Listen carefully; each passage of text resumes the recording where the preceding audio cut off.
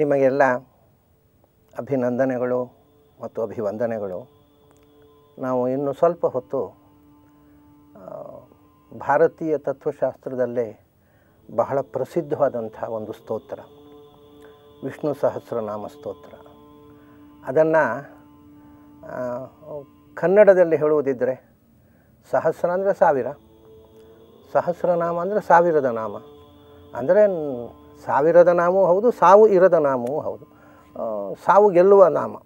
ನಾವು ಕೂಡ ಸಾವಿರದವರಾಗಬೇಕಾಗಿದ್ದರೆ ಆ ಸಾವಿರದ ಭಗವಂತನ ಸಾವಿರ ನಾಮಗಳನ್ನು ಹೇಳಬೇಕು. ಅಂಥ ಒಂದು ವಿಷ್ಣು ಸಹಸ್ರನಾಮದ ಬಗ್ಗೆ ಸ್ವಲ್ಪ ಕಾಲ ಚಿಂತನೆ ಮಾಡೋಣ.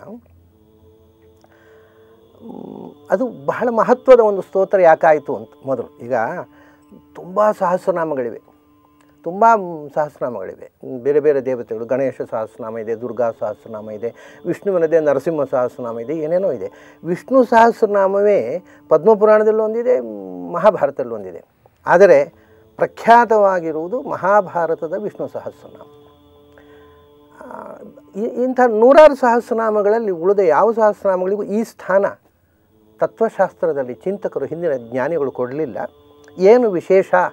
ಆ ವಿಷ್ಣು ಸಹಸ್ರನಾಮದ ವಿಶೇಷ ಏನು ಅಂತ? ಅದರ ಬಗ್ಗೆ ಎಲ್ಲ ದೃಷ್ಟಿಯಿಂದ ಆಧ್ಯಾತ್ಮಿಕವಾಗಿ ಮತ್ತು ಒಂದು ದೃಷ್ಟಿಯಿಂದ ವೈಜ್ಞಾನಿಕವಾಗಿ ಕೂಡ. ಇವತ್ತು ನಾವು ಬರೀ ಅಧ್ಯಾತ್ಮ ಮಾತಾಡಿದರೆ ಆ ಕಿವಿಗಳಿಗೆ ಹೋಗೋಲ್ಲ ಅದು. ಅದು ಸ್ವಲ್ಪ ವೈಜ್ಞಾನಿಕ ಅಂದರೆ ನೆಟ್ಟಗಾಗುತ್ತೆ ಕಿವಿ. ಅದು ವೈಜ್ಞಾನಿಕ ಸ್ಯೂಡೋ ವಿಜ್ಞಾನ ಆದರೂ ಸರಿಯೇ, ವೈಜ್ಞಾನಿಕ ಹೇಳಿದ ತಕ್ಷಣ ಕಿವಿ ನೆಟ್ಟಗಾಗುತ್ತೆ.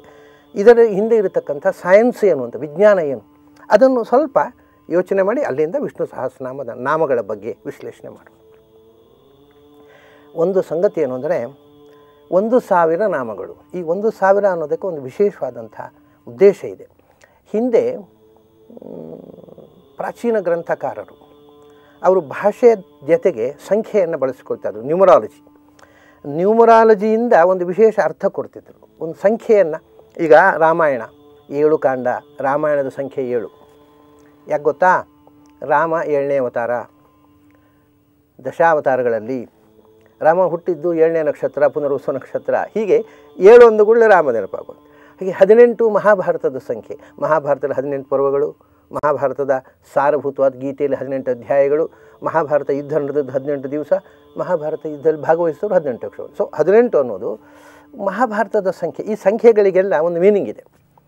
ಹಾಗೆಯೇ ಒಂದು ಸಾವಿರ ನಾಮಗಳು, ಇದಕ್ಕೊಂದು ವಿಶೇಷ ಉದ್ದೇಶ ಇದೆ. ಯಾಕೆಂದರೆ ಈ ನಾಮಗಳನ್ನು ಆಯ್ಕೆ ಮಾಡುವಾಗ ಅವರು ಬಳಸಿದ ಒಂದು ತಂತ್ರ.